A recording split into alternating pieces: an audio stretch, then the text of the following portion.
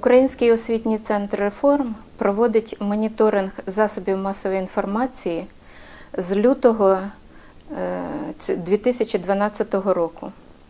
За цей час ми спостерігаємо величезну кількість джинси на сторінках газет і онлайн-видань.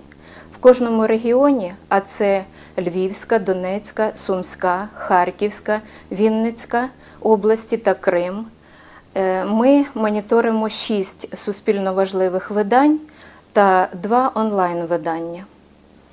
І з березня, фактично е, з лютого, ми спостерігаємо е, великий відсоток джинси. Наприклад, в березні це було 12,9%. А у вересні кількість джинси катастрофічно збільшилась. Її стало 27,8%.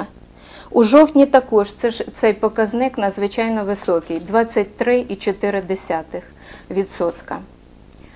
Е, Фактично, ми спостерігаємо, що засоби масової інформації заповнені е, прес-релізами, прес-релізами окремих партій чи фірм, е, які е, розширюються дещо на сторінках газет, додається інформація, е, дається великий заголовок, фотографія і підписується журналістом.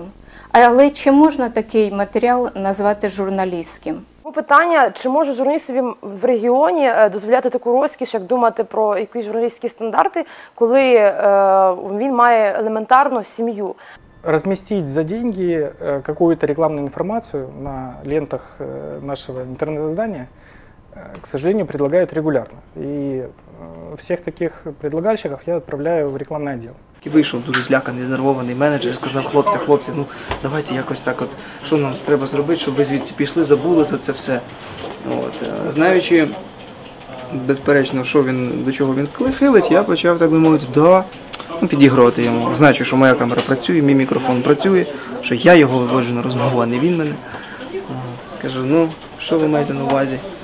Ну от, чтобы вы отсюда как бы пошли и забыли об этом. А, тобто ви мені пропонуєте ну, а, деньги, да? Да, да, да, сколько вам надо? Темна кімната. Є тільки я, мій оператор і е, якби е, цей менеджер. Там можна було нам називати будь-яку суму. Да? Якщо 80 тисяч доларів на день, ну в принципі можна було б махнути рукою і сказати, давайте там 50 штук і ми поїдемо і все добре. І так би могло б бути, якби не ну, може хтось зараз вважає це не модним, але в нас є принципи. Да? Убіждення, переконання українською мовою, е, бути не вестися на всі ці речі, тому що це дуже потім дорого коштує. До нас, в принципі, не звертаються з проханням розмістити джинсу, тому що вже якби є така репутація, що ми цього не робимо. І мені здається, ну кілька там разів на рік, може хтось подзвонить, запитає, що нам треба розмістити матеріал. Я кажу, що ми джинсу не ставимо.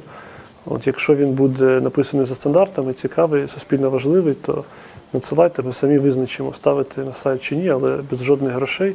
А за гроші матеріали ми не публікуємо. До мене зверталися люди, які мене особисто знали там на якісь таких контактах. Вони так дуже дуже обережно питалися: Іро, а от чи можливо в кореспонденті розмістити джинсу? І коли я відповідала, що ні, це абсолютно неможливо. А, ну тому що в нас в кореспонденті завжди такі були чіткі правила, і е, тобто ми.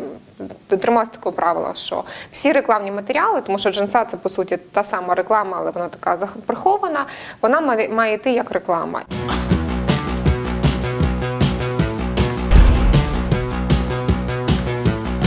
Ми прийшли до висновку, що у Харкові фактично немає незаангажованих ЗМІ, тому що е, ті е, комунальні газети, які повинні, які існують на кошти е, платників податків і повинні захищати інтереси громадян, е, підтримувати їх, захищати, насправді обслуговують владу, захищають владу. Є такі міста, як, наприклад, Южний, де е, 30 тисячне місто, де один телеканал комунальний, і де е, моя знайома е, журналістка вимушено мусила звідти піти, тому що їй став вибір або ти робиш заказуху на тему партії регіонів, або ти звідти йдеш.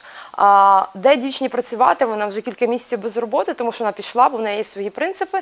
Переїхати в Київ вона не може через те, що в неї сім'я. Тобто в неї є варіант або працювати на партії регіонів, або міняти професію. На жаль, вона нічого більше не може робити.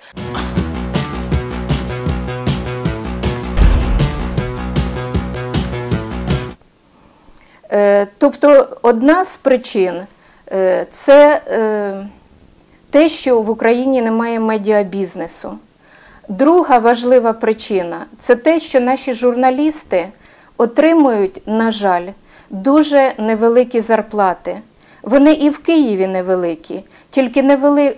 тільки дуже мала кількість журналістів фактично живе на свої журналістські гроші.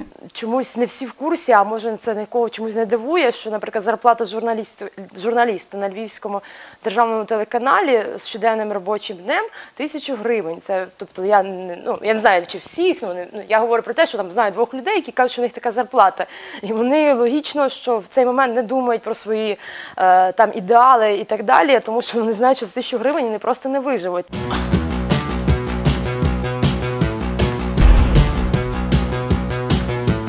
Мене особисто дивує, як і власне наших експертів.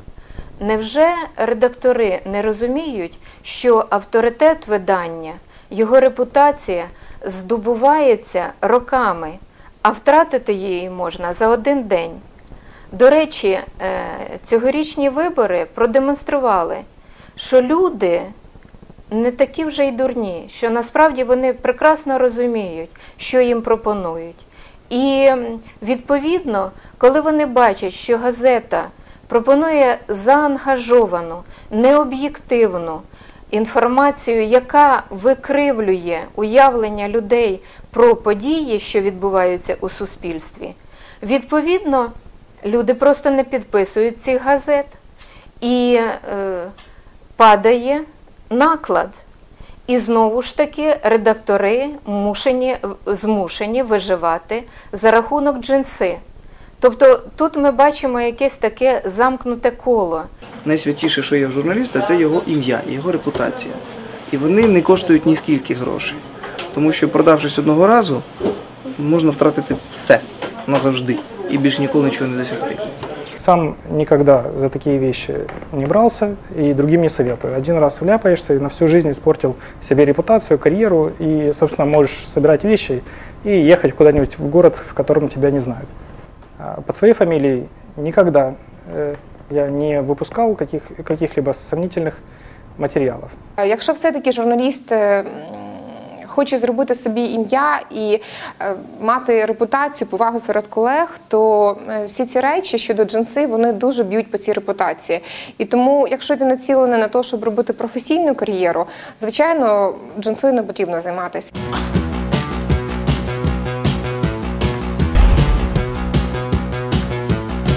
Я думаю, один з виходів це і наші моніторинги. Тобто е, не всі журналісти, власне, і не всі редактори мали уявлення про те, як е, виглядають їх газети. І от, скажімо, редактори газети Білопільщина і Сумщина просто сказали нам, що моніторинг для них дуже корисний, тому що вони побачили себе збоку, а це інколи потрібно. Крім того, журналісти е, чують про те, що, е, про що вони раніше, можливо, не знали. Скажімо, про ті ж стандарти, які е, вимагаються від журналістів, е, про кодекс журналістської етики. Редактор каже: ти робиш джинсу. Я кажу, ні. Моя, е, про мій профіль, наприклад, це розслідування. Ось там вам 10 тем, вибирайте, я можу зробити будь-яку. Да? Там 10 тем у мене в роботі. Тоді, звичайно, журналіст ну, навіть е, фізично захищений від того, щоб там робити джинсу, щоб йому нав'язували ці речі. Якщо вас цензурують, якщо вас змушують робити джинсу або публікувати замовні матеріали, і ви думаєте, що звільнення для вас це катастрофа, що це кінець життя. Насправді це може бути початком чогось нового, початком нового вашого проекту персонального в інтернеті. Це не вимагатиме великих коштів. І на перші початкові етапи ці кошти зможе компенсувати одна з благодійних донорських організацій або посольства, або міжнародних фондів на кшталт відродження. Поймите, э, джинса – это скрытая реклама на страницах издания. Журналиста она м, очень мало касается. Джинсой за- э, замыш- э, промышляют, как правило, э, руководители СМИ, не журналисты. Рядовые журналисты видят эту джинсу уже в эфирах новостей, на страницах газет. И, как правило, э, делают э, эти тексты специально обученные люди, не журналисты, а люди, которых нанимает э, человек, который хочет разместить такую рекламу. Політики останнім часом, особливо від партії регіонів, я це чую навіть від той самої Лени Бондаренко, коли ми з нею говорили про цей закон про наклеп. Вона мені казала: ой, у вас таке зараз твориться в середовищі, ви там такі статті пишете, це ж взагалі там безлад, наведіть порядок в себе самі. Тобто вони б'ють нас. От цими всіми джинсою, цими всіми замовними матеріалами. І це, звичайно, є дуже погано, на мою думку, і тому з цим потрібно боротися. І про це треба говорити, і це потрібно робити публічно.